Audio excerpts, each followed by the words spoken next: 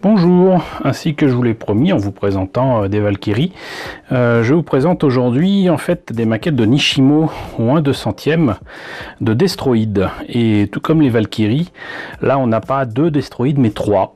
voilà. Euh, donc toujours la même méthode pour gagner de, de, la place. Donc là vous avez le Tomahawk. Hop, ici le Defender. Et là le Spartan. Ces maquettes ont été rééditées il y a quelques années et correspondent donc à des, éditions de, maquettes qui dataient de 1982. Euh, je l'ai déjà dit, mais comme euh, euh, donc il est nécessaire de revenir un petit peu là-dessus. c'est des maquettes dont j'avais entendu parler, mais que je, n'avais pas eu entre les mains. Et quand ça a été réédité il y a certainement 10-15 ans, bah, je me suis précipité dessus.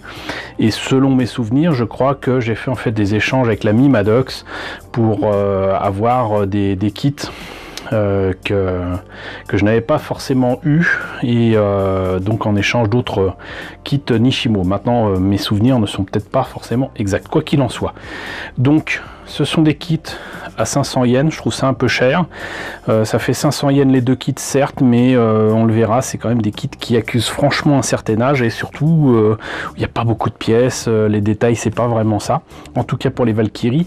Maintenant pour les Destroid j'en ai plus aucun souvenir, donc on va en profiter justement pour voir ce que ça donne. Donc on va voir les boîtes de plus près, je vous propose de commencer par le Tomahawk le Tomahawk parce que bah, il n'y a pas très très longtemps euh, je vous ai présenté le kit euh, au 1 centième donc au 1 2 centième voilà ça fait sens. Vous voyez que l'illustration n'est absolument pas euh, identique en termes de, pose. Ça ressemble à du Yoshiyuki Takani mais aucune certitude sur le fait que ce soit de, ce grand monsieur. Et donc on le voit donc c'était a priori le deuxième kit de cette collection voilà, et il y a écrit Nishimi, Nishimoko, Nishimako. Moi, pour moi, c'est du Nishimo, mais bon. Euh, et il y a strictement rien d'autre comme information sur la boîte. Donc on va en profiter pour montrer la même chose avec... Euh, c'est d'ailleurs amusant parce qu'il n'y a, pas, les, a pas les, publicités pour les autres euh, kits. Mais bon, donc là pour le Defender, pareil. Vous avez là quand même une jolie boîte avec euh, encore une fois une illustration assez sympathique. Et euh, je vous l'ai déjà présenté de toute façon je crois au 1 centième peut-être même au 1 72 je ne sais plus. Quoi qu'il en soit donc voilà pour les boîtes on va voir maintenant ce que ça donne à l'intérieur. Alors je doute qu'il y ait grande différence avec les Valkyries donc voyons déjà si on a bon sang. Il n'y a pas de notice. Bon je suis assez étonné euh, on a là une liste encore une fois euh, des kits disponibles chez Nishimo. Et là, non pas deux, mais trois planches d'autocollants. Et euh, c'est un peu embêtant parce que vous voyez, ça c'est les détails que j'aurais bien mis quand même en décalco sur un kit aussi petit. Mais là, avec ces autocollants là, c'est pas possible. Et ça, qu'est-ce que c'est? Est-ce que c'est pour le Spartan? Je ne sais pas, je verrai. Mais pas de, pas de notice, est-ce que c'est à l'intérieur de la boîte? Non. Euh, donc euh, ça a peut-être fini euh, ailleurs, je ne sais pas. Ça fait peut-être partie des échanges avec l'ami Maddox. Donc des vis pour que ça tienne, qui se mettent donc dans, le dos là. Et pour ce que j'en vois, mis à part la couleur qui est pas géniale pour un Defender, même si rien ne l'empêche d'être vert, hein, mais il est plutôt marron, euh, voire euh, sable. Il y a quand même de, beaux détails pour euh, les pieds. Par rapport à ce qu'il y avait pour les, les Valkyries, c'est pas trop mal. Euh, maintenant, par contre, là, on note qu'il y a des détails sur les canons qui auraient pu être sympas si c'était des trucs laser. Mais en fait, ça, ce que vous voyez là en plein, normalement, ça aurait dû être en creux. Et j'en veux pour preuve cette illustration. Hein, on voit bien que il y a quelque chose qui va pas. C'est pas ça. Là, ça va pas du tout. Et pareil ici. Hein. Voilà. Donc euh, là, des détails... Euh, en plein qu'on aurait bien du mal à faire disparaître. Et vous voyez donc ça tient en, une seule grappe. Et ici donc pour le tomahawk, même chose. La majorité des détails y sont.